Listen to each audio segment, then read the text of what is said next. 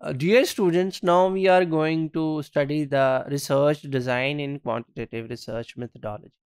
And the first resi- research design which we are going to study is the survey research. And survey research is the most popular research design in quantitative research methodology. और सर्वे research के ऊपर बात करने से पहले I am interested to tell about the history of this research design Survey research जो है, अगर हम इसकी हिस्ट्री के ऊपर बात करें तो ये एज अ रिसर्च मेथड और रिसर्च डिज़ाइन इसको लोकेट आउट किया जाता है एटीन सेंचुरी में। और जो मॉडर्न डे सर्वे है, ये सम हाउ लिंक्ड है विद द सेंसस तो रिकॉर्डेड हिस्ट्री से पता चलता है कि जो फ़र्स्ट इस हवाले से सेंसस हुआ था वो द विलियम कॉन्कर ने इंग्लैंड में किया था फ्रॉम 1085 टू 1086 जिसमें उसने इंग्लैंड की जो प्रॉपर्टी की डिटेल्स थी वो रिकॉर्ड करवाई थी थ्रू अ सर्वे और उसको पब्लिश किया था और उसको डोम्सडे बुक के नाम से पब्लिश किया गया था। ये एक एक हिस्टोरिकल डॉक्यूमेंट है जो कि आज भी जो है वहाँ पे अवेलेबल है। और इसको हम कहते हैं कि ये एक तरह का पहला सर्वे हुआ था दुनिया में। तो जितने भी अर्लियर सेंसेस हुए प्रॉपर्टी से रिलेटेड और जो है यूथ से रिलेटेड के जो फिट फॉर द मिलिट्री हैं, उसको हम यही मानते हैं कि वो एक टाइप ऑफ़ सर्वे ही थी। अगर हम सोशल साइंस में बात करें तो survey for social research started with in nineteen century social reform movements in the United States and Great Britain. जो 19वीं सदी थी, जिसको हम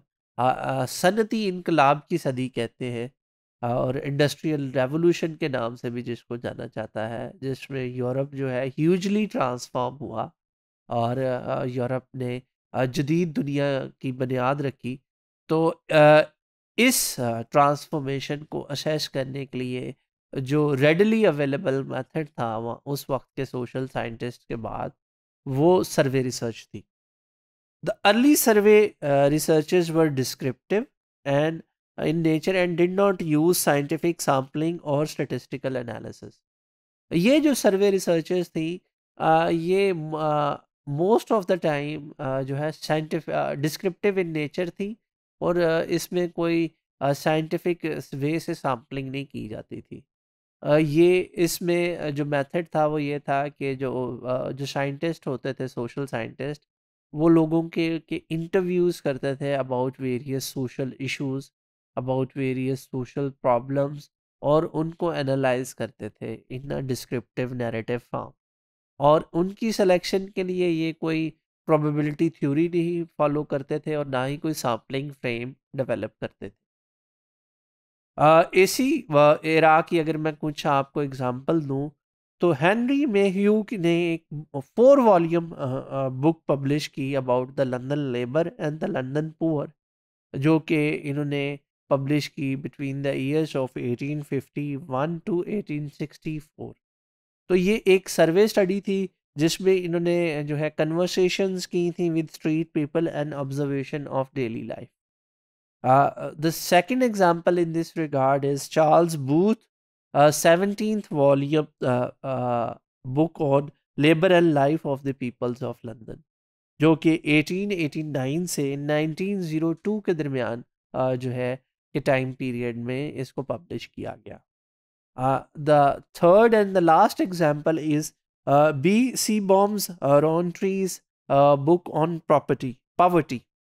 जो कि 1906 में पब्लिश हुई और जिसमें डॉक्यूमेंट uh, किया गया about urban poverty in England in modern times Groves in 2011 categorized history of survey research in three eras from uh, 1930 to 1960 uh, it is called the era of invention then 1960 to 99, it is called the era of expansion. And from 1990 to present, it is called the design data. Let's see the first era, which is called as a era of invention, which is from the 1930 to 1960 इस time period में जो है सर्वे research में properly जो है probability sampling का जो है इस्तेमाल शुरू हुआ प्रोबेबिलिटी थ्योरी को फॉलो करते हुए सैम्पलिंग फ्रेम से सैंपल को ड्रा करने का ट्रेंड डेवलप हुआ। और सैम्पलिंग फ्रेम जो इस ज़माने के थे वो एरिया बेस्ड थे, जिसमें यूज़ की जाती थी टेलीफोन डायरेक्टरीज और membership list of the community members then ये जो जो जिसको हम एरा ऑफ़ इन्वेंशन कहते हैं, इसमें जो है सर्वे रिसर्च का जो टूल था वो चेंज हो गया from unstructured interview to the structured question और इस स्ट्रक्चर्ड क्वेश्चन से ज़्यादातर नॉलेज एटीट्यूड और प्रैक्टिसेस को ऑब्ज़र्व किया जाने लगा ऑफ़ द कम्युनिटी मेंबर्स जिसको हम कैप स्टडी भी बोलते हैं। द इरा ऑफ़ एक्सपेंशन की अगर बात की जाए तो इसको एक्सपेंशन इसलिए बोला जाता है कि इस इरा में जो सैंपल साइज़ था वो as compare to the era of invention वो बढ़ गया। और उसकी बुनियादी वजह थी use of telephonic technology and use of the internet technology as well तो इस वजह से एक इसमें दूसरी जो चीज़ थी वो ये थी कि सोशल साइंस रिसर्च की फंडिंग्स मिलना शुरू हो गई यूएसए में और ग्रेट ब्रिटेन में,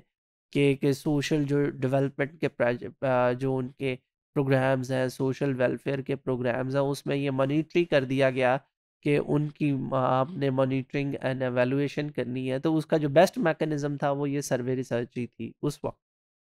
और आज का जो मॉडर्न डे जो इरा है इसको डिज़ाइन डेटा कहते हैं। इसको ऐसा क्यों कहते हैं? क्योंकि इसमें ट्रेडिशनल मेथड जो है, वो अब